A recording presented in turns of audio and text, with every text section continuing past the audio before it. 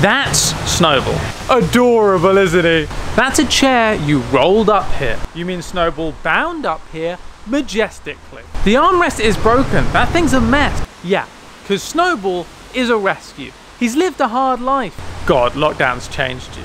Just pet him, but be gentle. His previous owner was violent. He doesn't respond well to sudden movement. No, that's too much. Fine, I'll show you. See? I guess that is kind of cute. I don't know if he likes that. I think that's a bit too aggressive. No, it's fine when I do, because we've got a bond, so...